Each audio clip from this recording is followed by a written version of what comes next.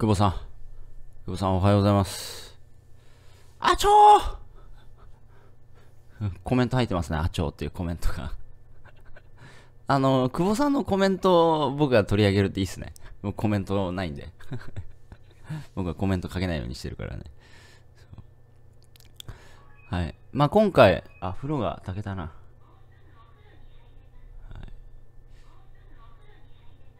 い。うん、今回は、うーん、な、えー意識、うん、お重い意識。重い意識、何色かな。久保さんの兄ちゃんの話いいっすね。兄ちゃん。なんか悟ってる感じですよね、その。その人。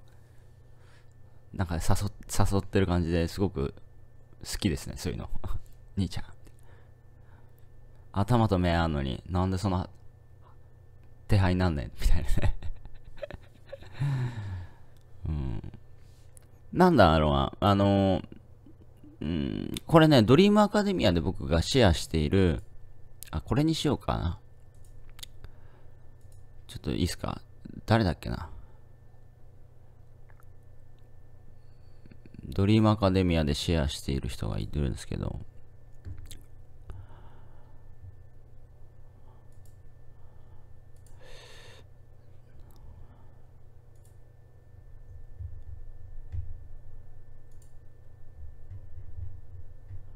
あ、未来を変える、未来、あ、未来を変えるたった一つの原則ですね。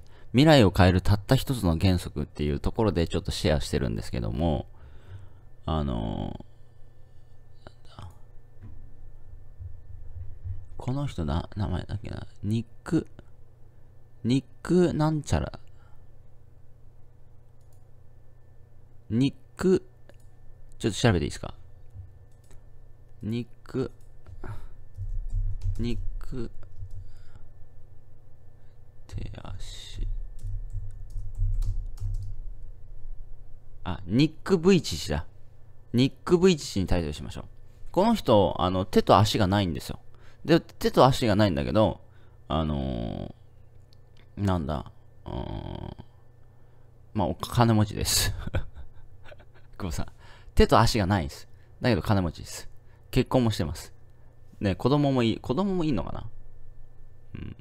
で、まあ、この人、あの、まあ、会社を作ったりとか、あと講演活動とかしてて、まあ、その、ニック V1 でね、検索してほしいんですけど、そうすると、まあ、動画いっぱい出てきます。まあ、見ればもう一瞬でわかると思いますけど、手と足ないっす。うん。でもどうでしょうか？手と足あるの、手と足がない、手と足がないのにね、あのー、なんだろうな。稼げてるわけですよ。手と足あるのになんで稼げない？兄ちゃん。兄ちゃん。なんで手と足あるのに稼げないね？みたいなね。君手、手と足あるんやろと。足で稼げるやん。手で稼げるやん。手と足あんのに。みたいなね。話ですよね。ニック・ブイチさんは手と足がなくてもあなたより稼ぐっていうね。あなたより幸せな人生を送ってるってね。どうでしょうか？この人幸せに生きてますよ。まあ、講演を聞く限りではね。うん。だからなんだろうな。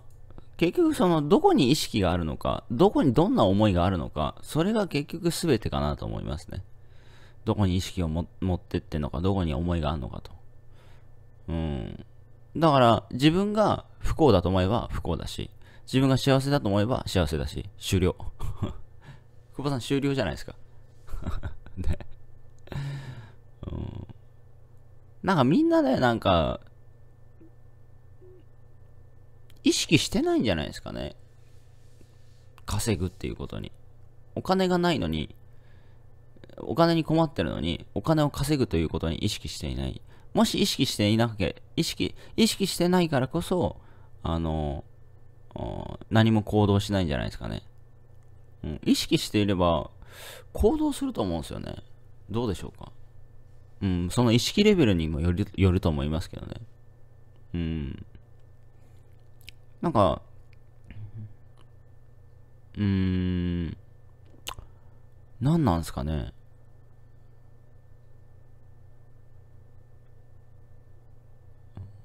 うん、多分意識してないでしょうね。だからまあ、あの、昨日っすか、あの、また公開しますけど、塾生、塾生の俊英くんね、えー、今年の7月で25歳。今24歳か。うん。あの、1時間ぐらい対談したんですけど、まあ、最後の方で盛り上がったのが、まあ、ずっと考えてると。365日ずっと考えてると。どうやったらこう収益出んのかっていう。でも、ほとんどの人って多分考えてないんですよね。意識してないんですよ。どうやったらその売り上げ作れるかなとか、どうやったら集客できるかなとか、うーん。だからそれは常に当たり前のごとく意識して考えないといけないし、まあ、そこに対して行動していかないといけないし、だからまあ、それが弱い、ないっていうところじゃないですか。うん、だから問題がいつまでたっても解決できないと。うん。少なくても、久保さんがなんで人生を変えられたかっていうと、このままじゃやばいなって思ったからじゃないですか。久保さんどうすかね？このままじゃやばいなと、さすがに。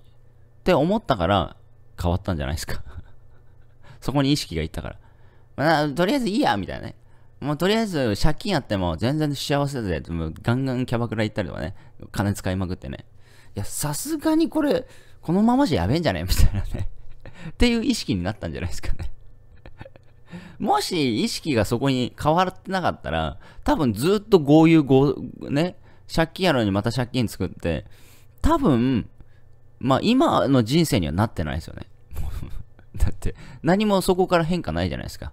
もう常に借金あるけど、キャバクラ生活するみたいな話ですよね。うん。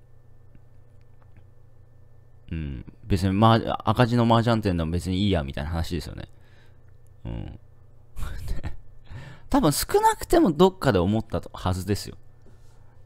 そこに意識がいったと思うんですよ。このままじゃいけないっていう意識ですよね。うん。そう。だからあなたはこのままでいいんですか？